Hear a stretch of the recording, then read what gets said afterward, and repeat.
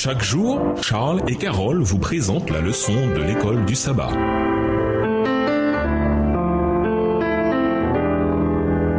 Bienvenue dans votre émission. Dieu nous parle. Nous voilà à la leçon de jeudi, notre témoignage de Jésus. À mettre prise, quand Jean présente les témoins de Jésus, son but est de nous amener à une conclusion globale. Jésus a fait encore, en présence de ses disciples, beaucoup d'autres miracles qui ne sont pas écrits dans ce livre. Mais ceci est écrit afin que vous croyiez que Jésus est le Christ, le Fils de Dieu, et qu'en croyant, vous ayez la vie en son nom. Jean 20, les versets 30 et 31 dans la version Colombe. Imaginez que nous sommes là en personne, en chair et en os, et que nous avons vu Jésus faire beaucoup de ces miracles. Nous ne pourrions que croire, non? On aimerait le penser, mais pas certains côtés. Nous avons davantage de raisons de croire en Jésus que ceux qui ont vu les miracles. Qu'avons-nous aujourd'hui que ceux qui vivaient à l'époque de Jésus n'avaient pas et qui devraient nous aider à croire. Voir, par exemple, Matthieu 24, verset 2, Matthieu 24, verset 14, Matthieu 24, les versets 6 à 8. Matthieu 24, verset 2. Mais il leur dit, Voyez-vous tout cela? Je vous le dis en vérité, il ne restera pas ici pierre sur pierre qui ne soit renversée. Matthieu 24, verset 14. Cette bonne nouvelle du royaume sera prêchée dans le monde entier pour servir de témoignage à toutes les nations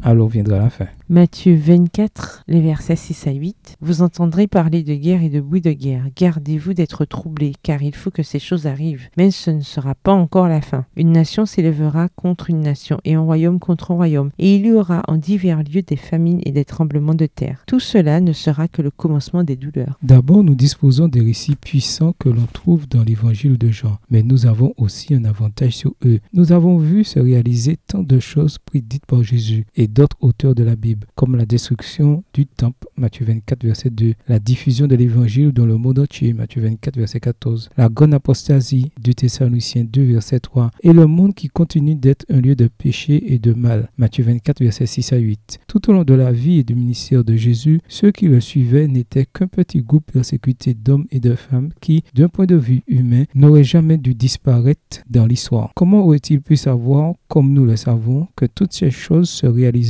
car c'est bien le cas. En réalité, notre foi elle-même existe en accomplissement de la prophétie de Jésus. L'évangile atteindrait le monde entier. Et aujourd'hui, environ 2000 ans plus tard, nous qui sommes des disciples de Jésus, nous avons, nous aussi, le privilège de témoigner de Jésus et de ce qu'il a fait pour nous. Ce n'est pas grâce au raisonnement de Nathanaël, de Nicodème, de la femme samaritaine ou des enseignements des pharisiens que nous connaissons Jésus comme Messie, mais c'est en lisant les Écritures et grâce à la puissance de conviction du Saint-Esprit que nous acceptons Jésus comme Sauveur du monde. Et puis, chacun de nous à sa façon, et grâce à la relation qu'il avec Dieu, peut avoir une histoire à raconter. Notre histoire ne sera peut-être pas aussi spectaculaire qu'un mort qui revient à la vie ou un aveugle de naissance guéri mais ce n'est pas grave. Ce qui compte, c'est que nous connaissons Jésus personnellement et que nous lui rendons témoignage à notre manière comme les protagonistes de l'évangile de Jean. Au revoir. Et à demain si Dieu veut.